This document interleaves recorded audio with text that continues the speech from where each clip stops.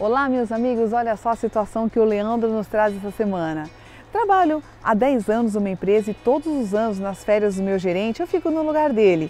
Eu nunca recebi a mais por isso, mas esse ano foi diferente, porque eu fui até o meu chefe e conversei com ele a respeito de receber algo a mais durante as férias. Ele até me bonificou com 200 reais, o meu salário é de 1.500, eu não achei ruim, mas a secretária dele me disse que ele não quer mais ninguém no lugar dele durante as férias devido ao fato de eu ter pedido a, a, a, gratificação. Eu fiquei super desmotivado, eu gostaria da sua opinião. Leandro, é o seguinte, o que acontecia na ausência do seu, do seu gerente era uma coisa que a gente chama delegação de poder. Então o que ele fazia era passar algumas tarefas que era da obrigação dele para você. Mas isso ocorre, Leandro, sem bonificação e você aceita se você quer ou não, tá?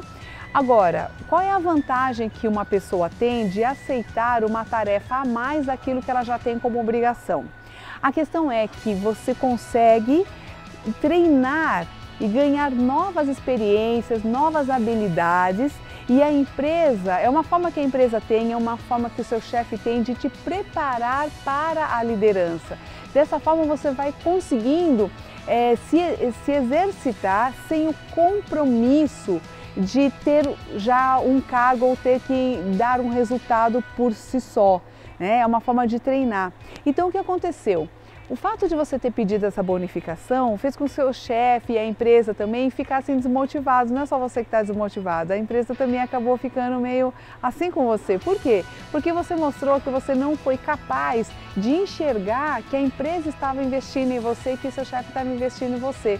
É, você não conseguiu ter essa visão de futuro. Então, o que acontece é que talvez você tenha perdido uma oportunidade de crescer dentro dessa empresa. Agora, é importante que você aprenda com esse erro, de forma que você não cometa esse erro no futuro. Agora, se você puder redimir essa situação, conversar com seu chefe, pedir desculpas, perceber que você poderia aprender muito mais, assim, e, e, se conseguir reverter essa situação, tudo bem. Mas se a gente não conseguir reverter essa situação, que fique de aprendizado para as próximas oportunidades que aparecerem na sua frente. Tá legal, Leandro? Boa sorte para vocês.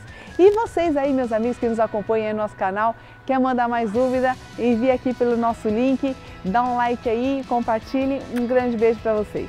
Olá, meus queridos amigos e amigas. Olha só a situação do Leandro. Ele fez um trabalho a mais, pediu uma bonificação e no final ficou sem nada. Quer entender um pouco mais sobre... Não, o que era mesmo que eu ia falar? Mas a chamada não está não tá boa. Como é que eu poderia falar? Ver. É, não está boa essa chamada, não é? O que, que você achou?